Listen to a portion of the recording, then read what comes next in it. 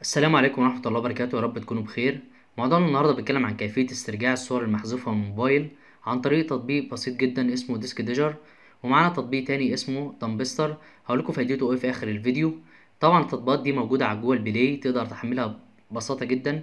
الشرح ده خاص بالأجهزة اللي بتعمل بنظام الأندرويد. يعني مش هتشتغل على الآيفون طبعا ولا تنفع الطريقة دي على الآيفون خالص تمام؟ عشان طبعا كل نظام تشغيل بيبقى ليه تطبيقاته اللي بتشتغل عليه. عشان ما اطولش عليكم تعالى نبدأ الشرح. قبل أي حاجة اكون شاكر ليكم لو عملتوا اشتراك للقناة بتاعتي وفعلتوا زر الجرس عشان يوصلكوا كل جديد. الخطوة اللي بعد كده هنروح نحمل التطبيقات. طبعا هحملهم قبل كده بس هقول لكم طريقة تحميلهم من على جوجل بلاي هتفتح جوجل بلاي وتكتب DiskDigger طبعا هكون سايب لكم اللينكات بتاعة التطبيقات تحت الفيديو برضه عشان تقدروا توصلوا بطريقة أسرع. آه، انت بتفتح جوجل بلاي وتبحث عن البرنامج بيظهر لك كده ال- التقييم بتاعه أربعة مثلا آه، والعملية التنزيل بتاعته مية مليون. هو ده التطبيق بتاعنا بتاع الشرح بتاع النهاردة. عشان ما تحملش تطبيق تاني هتروح تعمل تثبيت للتطبيق. بعد ما يتثبت هينزل معاك بالشكل ده. هتفتح التطبيق عادي جدا. طبعا التطبيق عشان يشتغل بكفاءة جدا لازم يكون آه، عندك root على الجهاز. لو ما عندكش root التطبيق هيشتغل عادي جدا بس مش هيرجع الصور كلها. فهنعمل بدء مسح الصور الأساسي. لو ما عندكش روت عادي دوس على بدء مسح الصور الأساسي. نعمل سماح ونسيبه يبحث على الصور المحذوفة.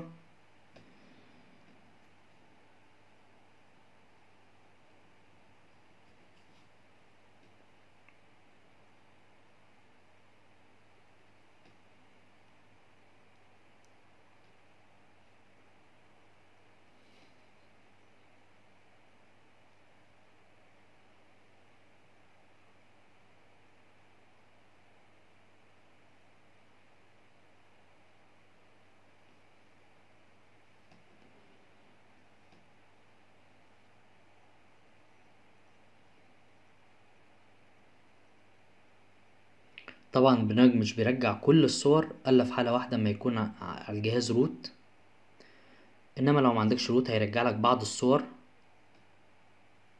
برنامج جميل جدا.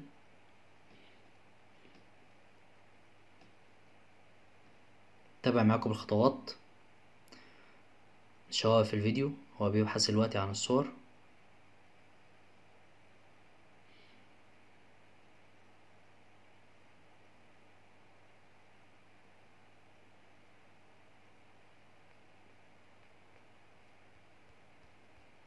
طبعا دي كلها صور ممسوحة.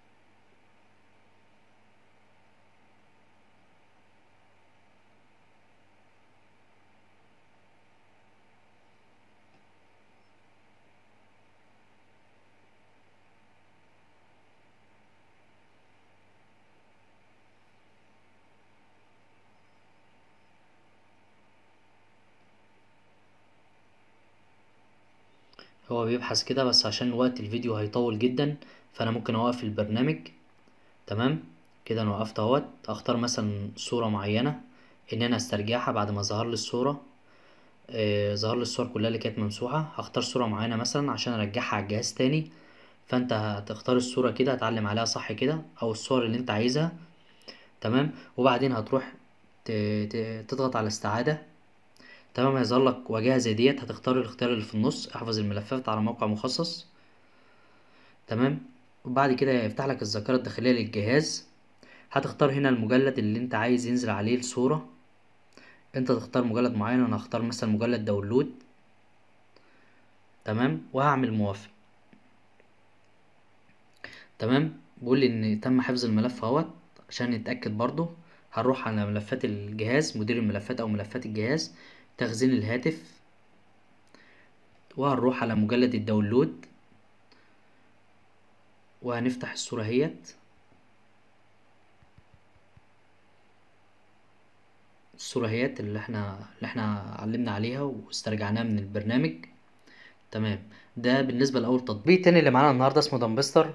وظيفة التطبيق ده إن أنت بعد ما تسطب التطبيق وحذفت مثلا صورة أو مقطع فيديو أو ملف صوتي بالغلط تقدر تسترجع الملف ده عن طريق التطبيق ببساطة جدا. هنروح نحمل التطبيق من متجر بلاي. نكتب اسم التطبيق Dumpster طبعا هكون سايب لكم ال link بتاعه تحت الفيديو عشان تقدروا توصلوه بطريقة أسرع. طبعا تتأكد إن التقييم بتاع التطبيق أربعة وتلاتة من عشرة. هتروح تعمله تثبيت. بعد ما تعمل تثبيت هتدوس فتح. وتدي الصلاحيات للتطبيق وافق ابدأ أساسي بعدين احذفها تالي تم وبعدين حسنا استمرار سماح. وهنروح نجرب نحذف كذا مقطع فيديو مثلا نشوف البرنامج هيسترجعهم أو لأ. هحذف مثلا المقطع ده والمقطع ده. حذف. نفتح البرنامج.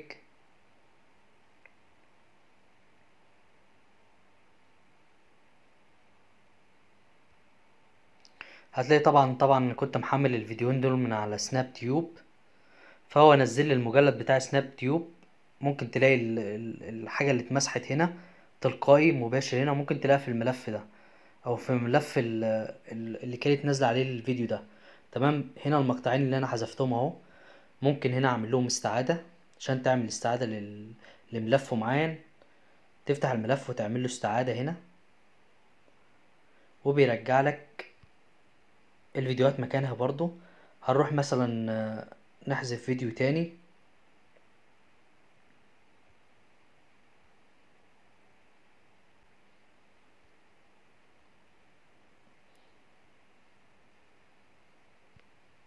نفتح البرنامج.